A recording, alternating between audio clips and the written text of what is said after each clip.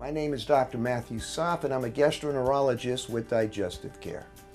And I have a feeling that either you or someone you know has had the problem of intermittent chronic abdominal pain that is associated with bowel movements that are not normal. And I have a feeling that that person, you or someone you know, has been to one or more doctors multiple times. And they've gone through blood tests and CAT scans and x rays and perhaps even a colonoscopy or an upper endoscopy. And when the doctor's finished with all the fancy testing, they come out and they tell you all the tests are normal, everything is fine, there is nothing wrong. And you say, but I have pain, I have bowel problems. How could there be nothing wrong? And then you go home and you think, I must be crazy. I got pain, I have problems going to the bathroom. Something is wrong.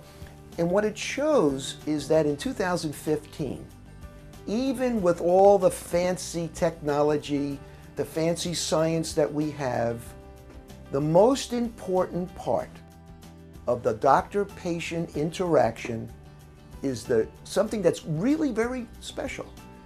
It's the doctor's ability to listen to the patient.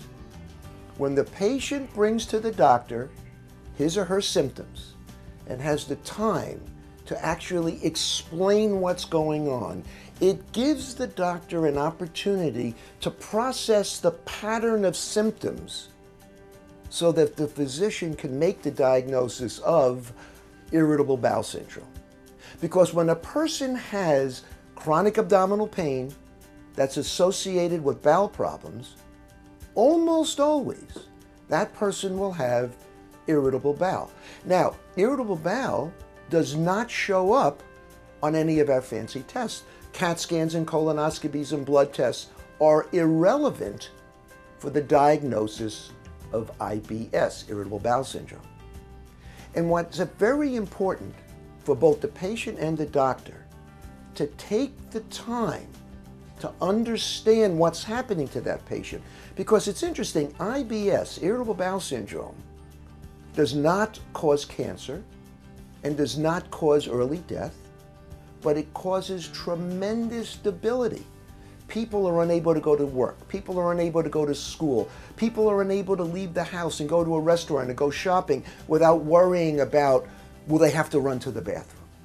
So once the physician working with the patient, once they are able to make the diagnosis of IBS and modify the diet, perhaps prescribe some treatment, perhaps prescribe some stress management.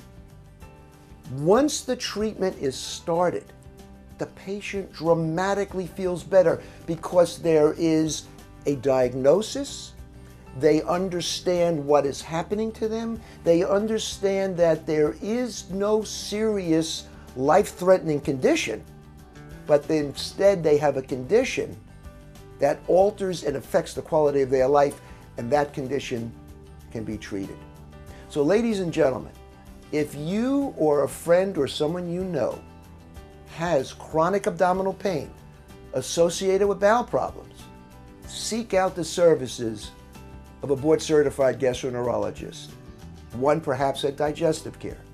Because through your work with the physician, the diagnosis and treatment plan can be established. Thank you so much for your attention.